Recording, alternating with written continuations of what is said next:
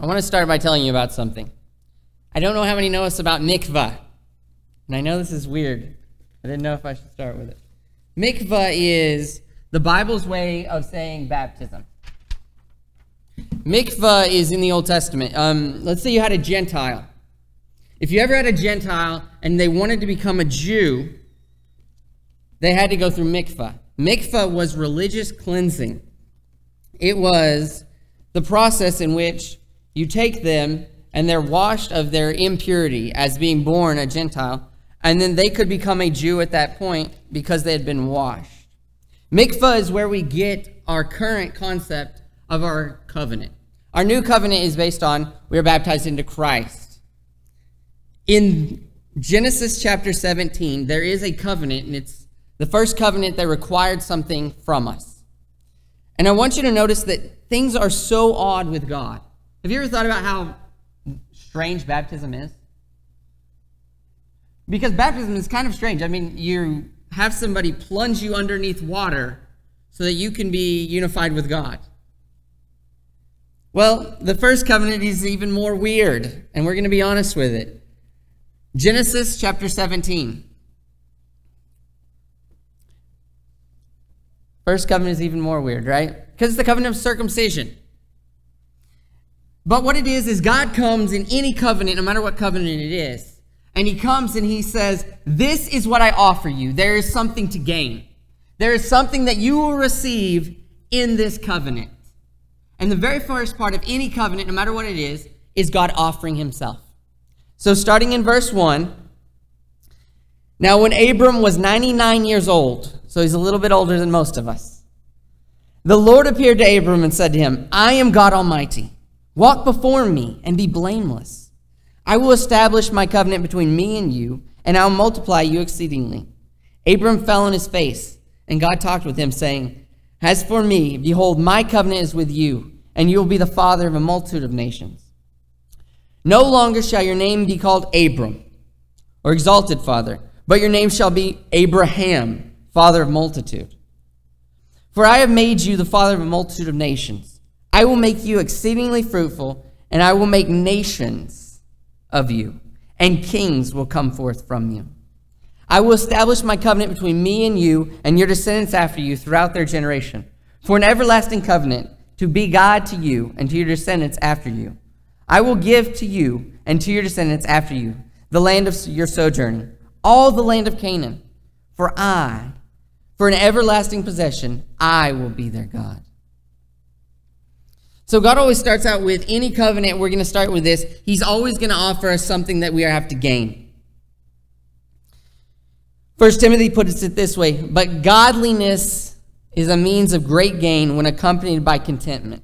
Now let's look at this. Now Abram just received a covenant from God. He said, I'm going to do something great with you. Now how old was he? 90. Okay, he, he's a little bit older than us, right? Now, let me ask you something. How many of us are less than 99? See? Okay, now we're getting. So, when we talk about this covenant, we have to remember something. He is just starting this covenant at age 99. So, next time you hear somebody say, I've served God at this point, I'm kind of sitting back. Think about Abraham just a second. 99, he's like, let's start that covenant of circumcision. Doesn't that sound fun? Woo!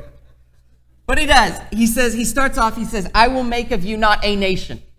Notice that he does not say to Abraham, I will make of you the father of a nation. That is essential to us, and it's important because it means that God has more of a plan than what we see in a lot of the Old Testament, where he's just working through Israel.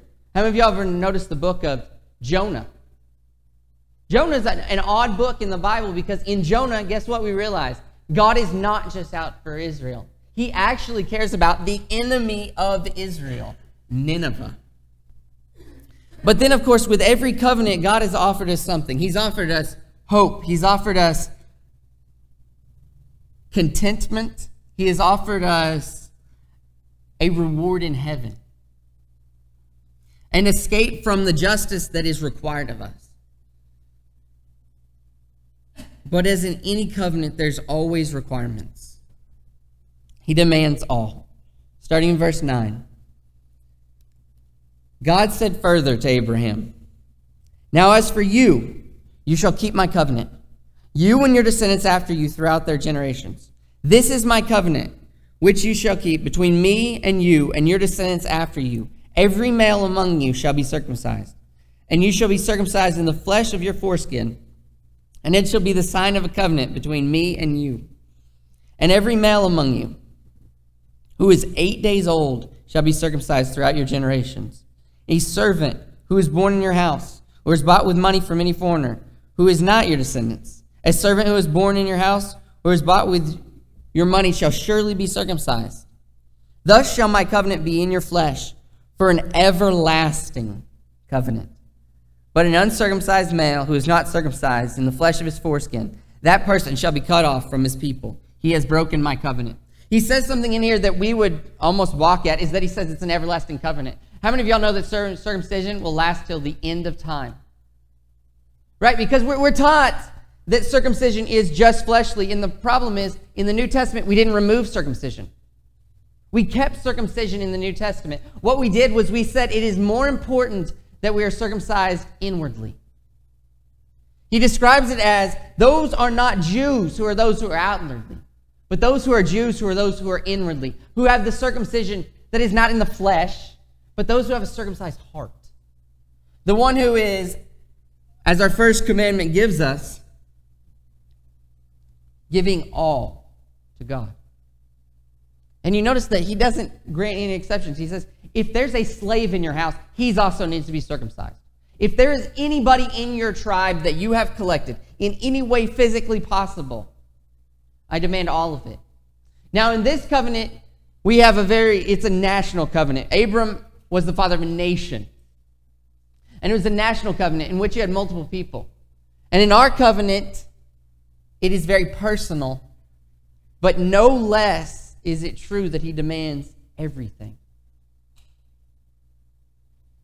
He talks about it, and it's unusual for him to say something that would be like, well, you know, if you acquire somebody, they need to be circumcised.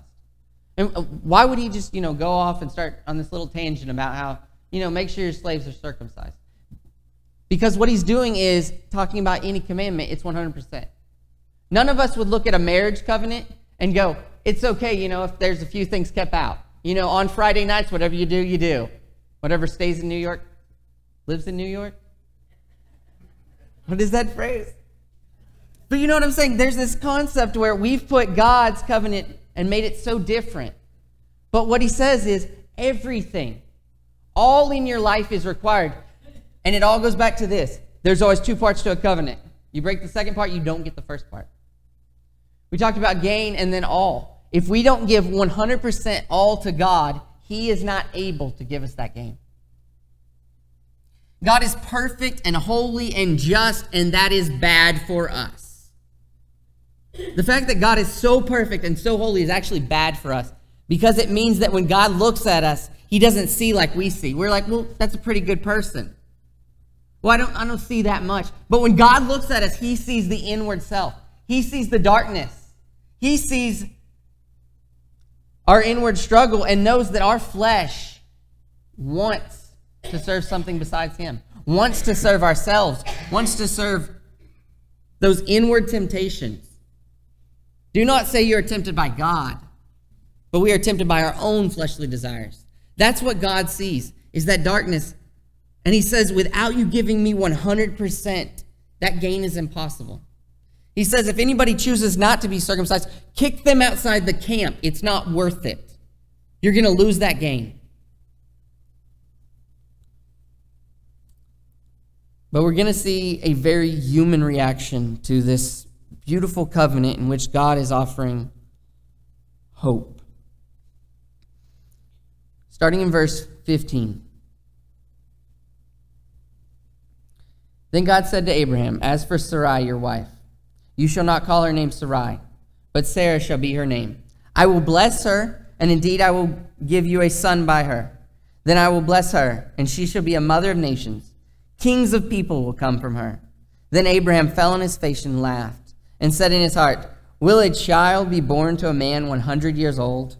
And will Sarah, who is 90 years old, bear a child? And Abraham said to God, Oh, that Ishmael might live before you. But God said, No. But Sarah, your wife, will bear you a son, and you shall call his name Isaac. And I will establish my covenant with him for an everlasting covenant for his descendants after him. As for Ishmael, I have heard you.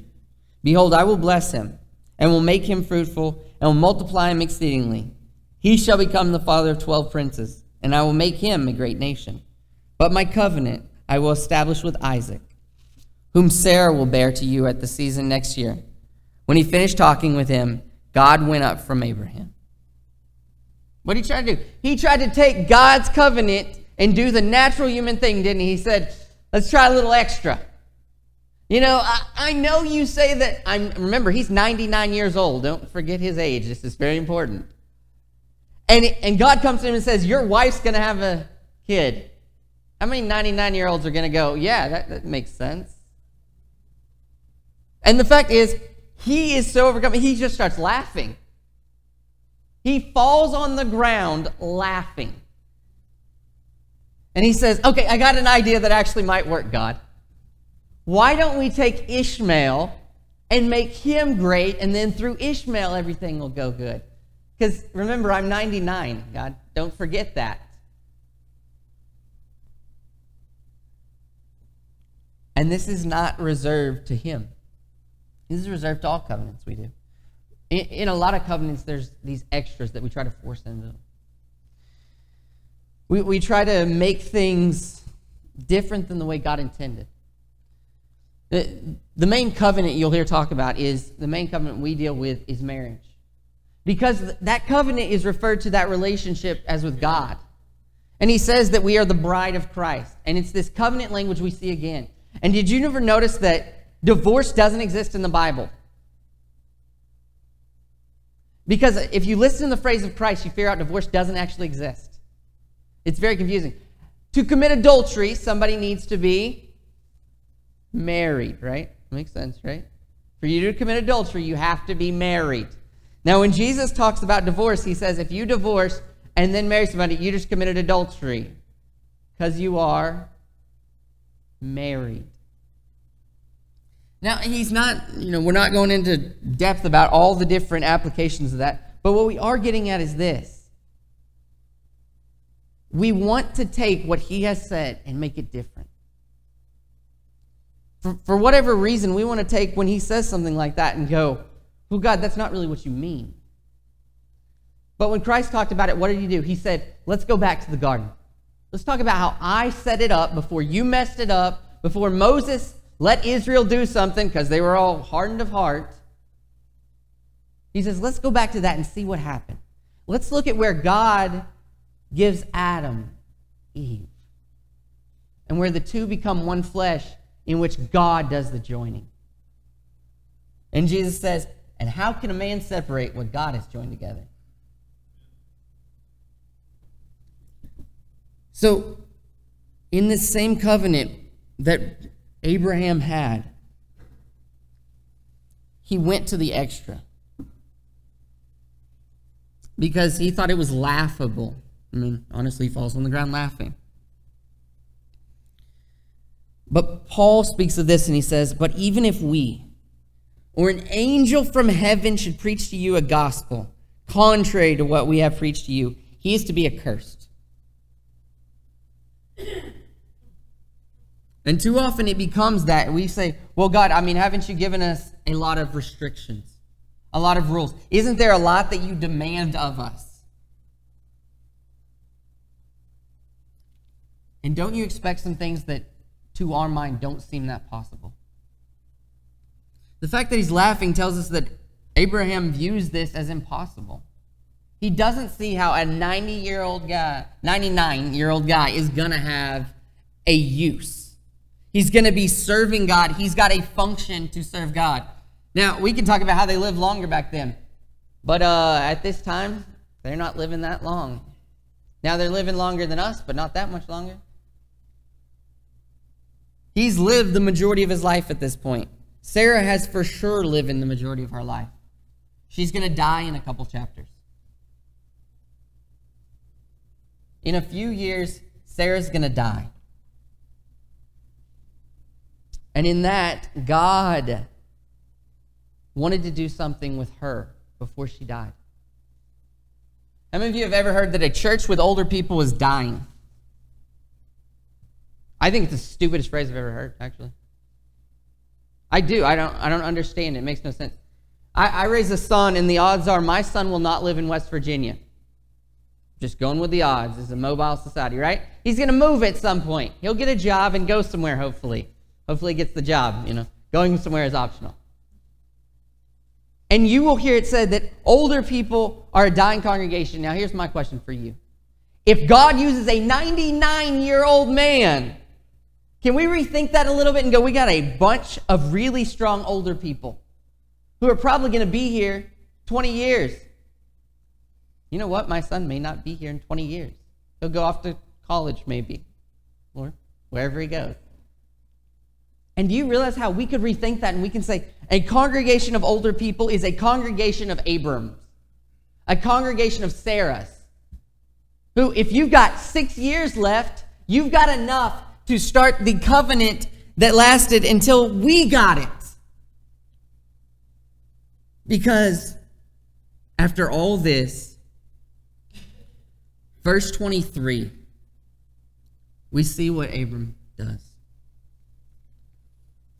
Then Abraham took Ishmael, his son, and all the servants who were born in his house, and all who were bought with his money, every male among the men of Abraham's household, and circumcised the flesh of their foreskin in the very same day, as God had said to them.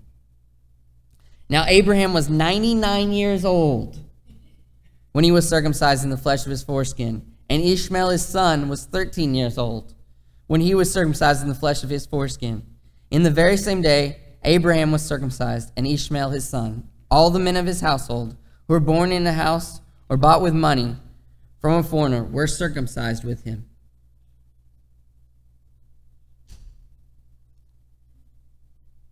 That is a challenge. And most of the sermons are geared towards middle age because I try to balance them. This one's not. I'm not even close to 99. I don't really think about dying that much.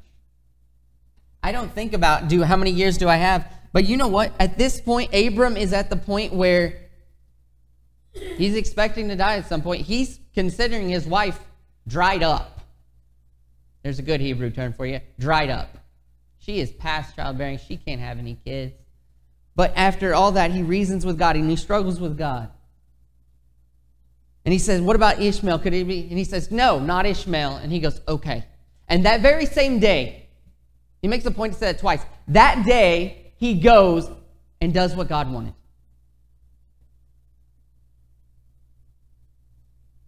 But one who looks intently at the perfect law of liberty and abides by it, not having become a forgetful hearer, but an effectual doer, this man will be blessed in what he does. This covenant is for all of us. You'll, you'll hear this term over and over, and it's really weird that we hate this term, but we call it an everlasting covenant because it is. It's a covenant that allowed us to come in. Now, if things change, yes, mikvah has become more important in circumcision, external circumcision has become less. And I started with mikvah because that's our point. We have a ritual cleansing. We have something where it's not about the water. It's about giving all and coming to God and in the purity of faith going, God, this one doesn't make any more sense than the last one. I mean, think about it. Circumcision doesn't make a lot of sense. Circumcised people are holy. Did you put that on your list of good people?